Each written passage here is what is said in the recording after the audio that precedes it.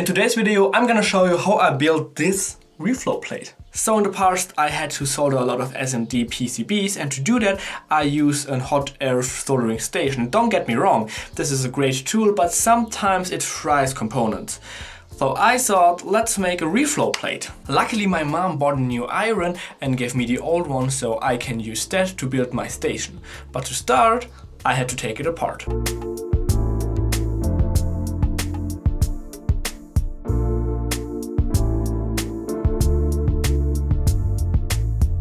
All the dust from over 10 years of use. I want to take this metal shield off and to do that I think I have to cut the rivets under these black rubber dots.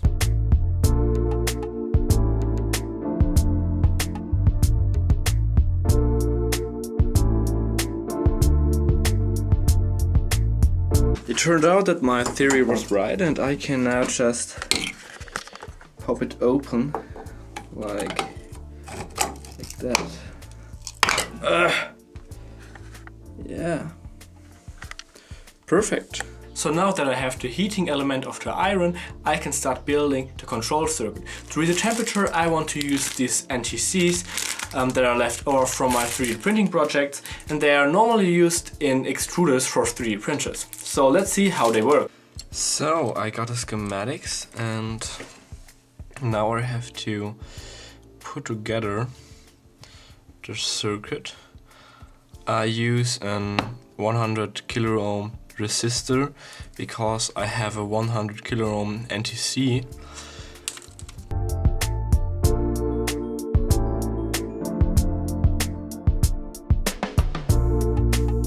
So, let's hook it up to the PC and test it. So here I got this code I stole it from the other Adafruit website.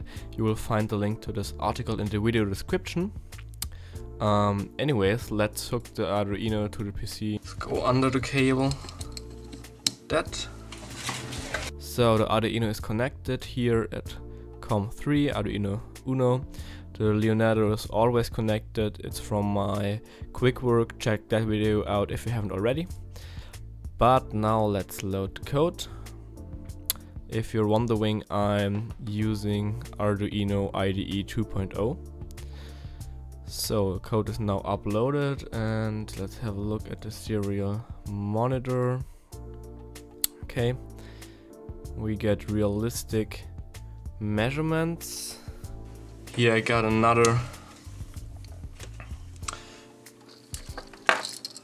temperature sensor, so I put them next to each other my fingers and now we have a look how close the measurements are.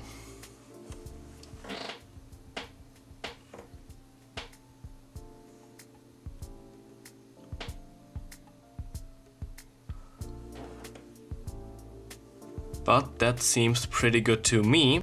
Now let's check it out in the serial plotter for everyone who likes to have it as a graph.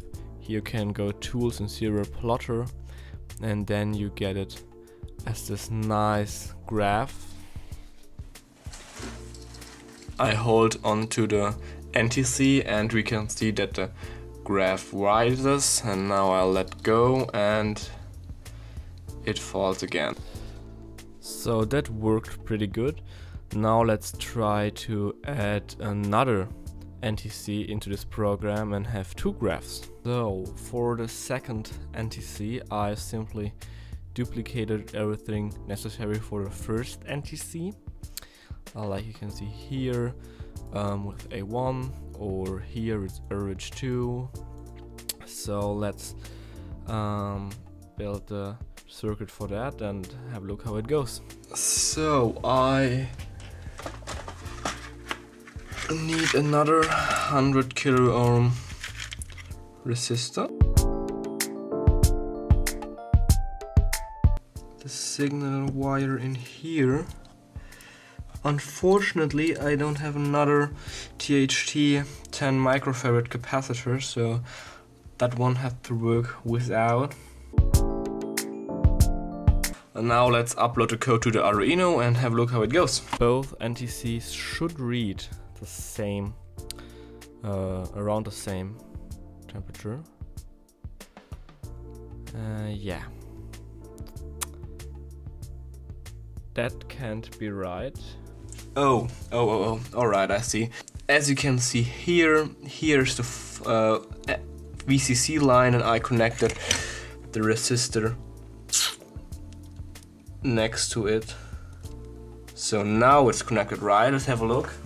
Activate auto scroll and now they both read around the same measurements. Okay, now now that works. So let's have a look in the serial plotter how this goes. Um, here normally is the last uh, serial print ln, so it uh, goes to the next line, and this was the same here. But to get actually two graphs, you have to delete it here, so both of the measurements are printed next to each other. And now when I go to the serial plotter, you can see there are two graphs. And when I touch one of the NTCs, you see one of the graph rises and the other one stays low because I'm only touching one of the NTCs. So next I have to think about how I want to display the data. And here I want to use this 2.6, 2.8 TFT LCD shield by Elegoo that just plug onto the Arduino like that. And so let's try it out how it works with the touchscreen first. So the LCD is booting up and now um, let's have a look. Okay, I show you that. I can pick the color. That seems to work and now I can draw on it. So let's take a pencil with a finer tip.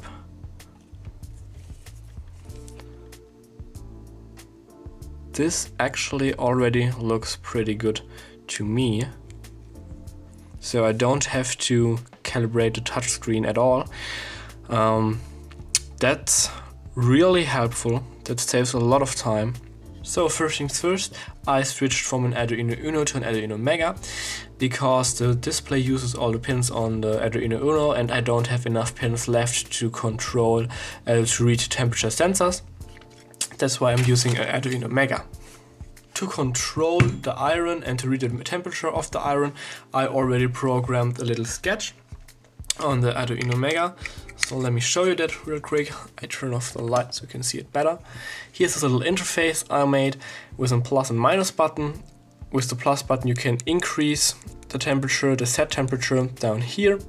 That's the temperature um, the iron tries to reach. Uh, at the moment it's set to 1, so it increases by 1 when I press the button. I can switch to 10, so it increases by 10. And I can switch to 100, so it increases by 100. Same backwards. For safety reasons, it can't go over 500. So, for example, here you see it sets to 500, and I try to go higher. It goes back to 500. Same backwards. Um, it can't go under zero, so it's zero and it jumps always back to zero. Here you see the current temperature, it's the average temperature calculated from all the three temperature sensors, which you can see over here.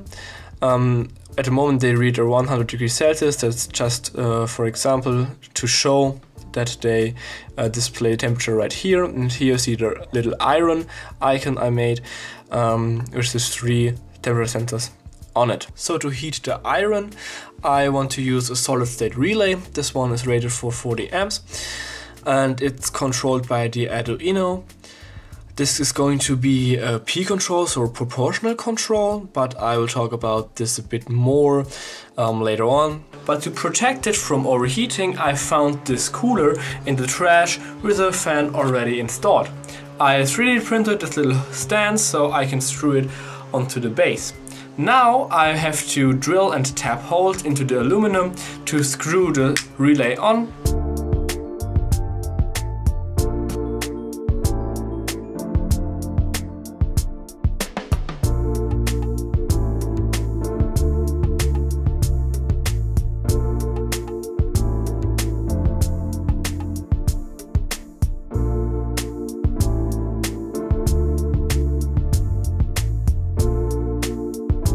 For the base I want to use this solid bamboo board I bought at Ikea for really cheap.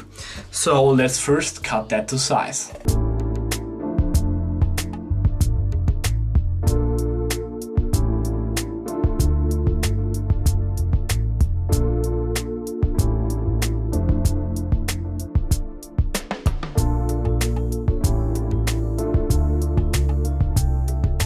To space the heating element from the base I have this threaded rod right here which I have to cut to length and for this I use this little Lego piece right here as a guide.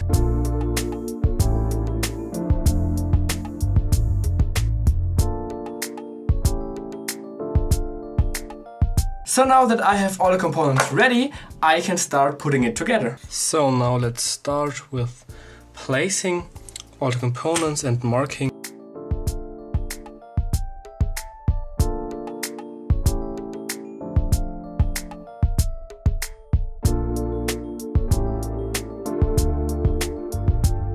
So now that all the important electronics are installed, I can start wiring it. Okay, so ignore my desk, it looks like a mess, but this is the first time testing it. Um, the iron isn't plugged in yet, um, so I just want to have a look if the sensors are measuring correct data and if everything is hooked up correctly and if the fan spins. So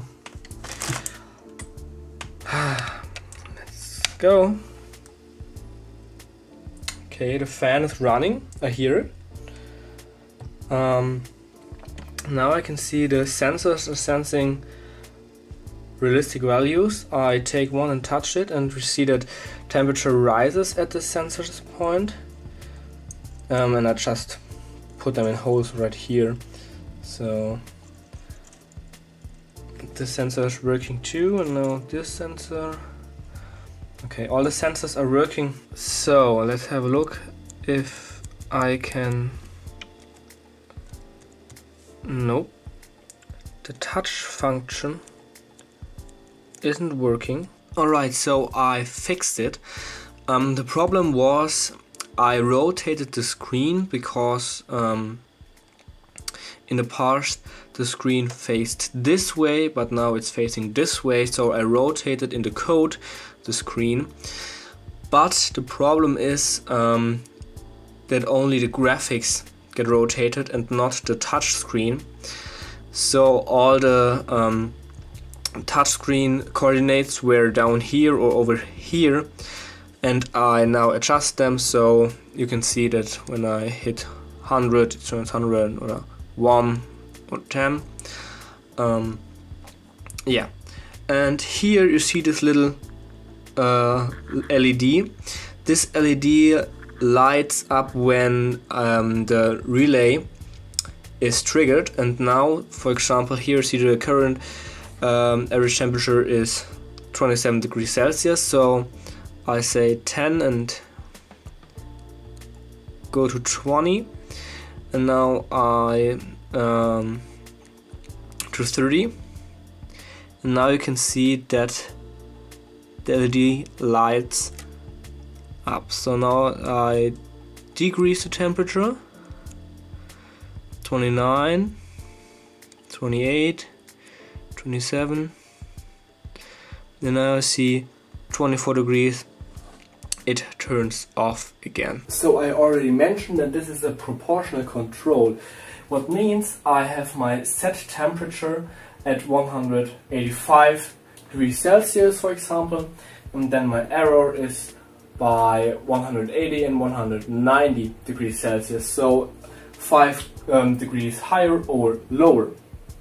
And in theory, um, the graph should look like this when the temperature of the iron rises and it reaches to 190, the iron gets turned off, so the temperature drops again.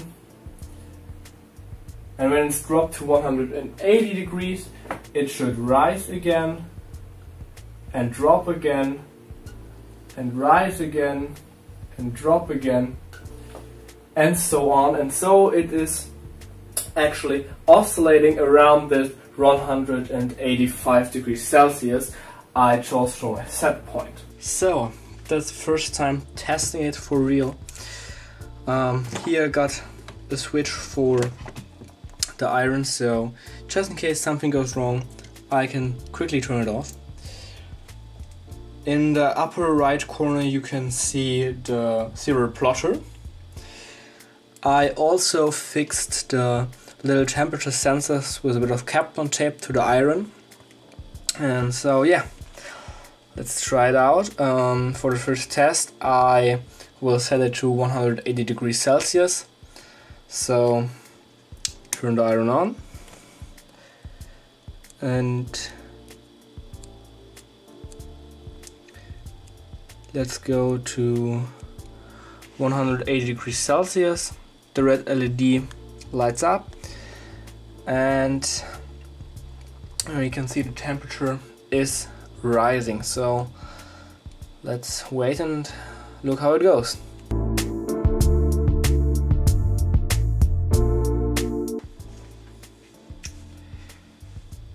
Okay so it is over 180 and you see the LED turned off. So the iron should cool down now and when it's cooled down enough the LED should turn on again until it's at 180 degrees Celsius.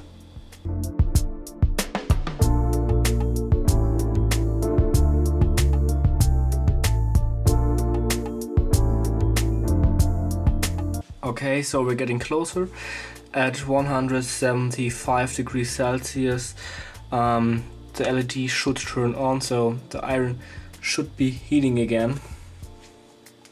Yeah, the LED turned right on. You see that. Um, so the iron is heating again.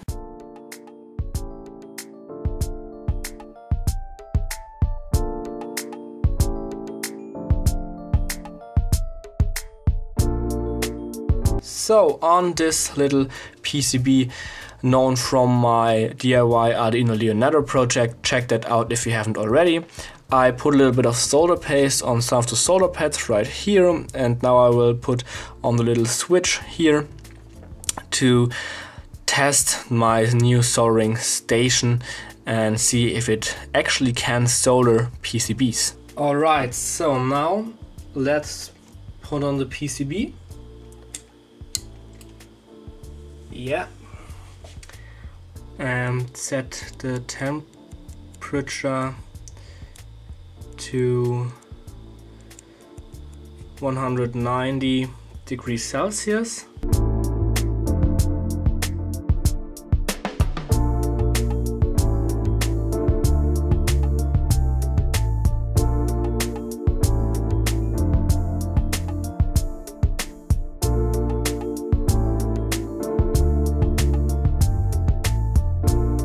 The answer is yes, my reflow plate can solder PCBs. So I exported all the values from the serial monitor into Excel and made a little graph, which you can see right here. The red line is the set temperature, the gray line is the error for when the iron gets turned on again, and the yellow line is the error for when the iron gets turned off. The blue line is the temperature measured by the Arduino, so it's the iron temperature and here you can see really good first heating process um, goes really high and then cools down again. And from this point the graph looks similar to the graph I made on my whiteboard. Um, but all in all it looks how I expected it to look. It's really nice um, and I'm really happy how this turned out. That's it for this video. I think for the first version this looks really good and I'm really happy that it works so well. If you think so too, then feel free to like, share and subscribe. Here videos, here find my channel, so have a nice day and see you soon.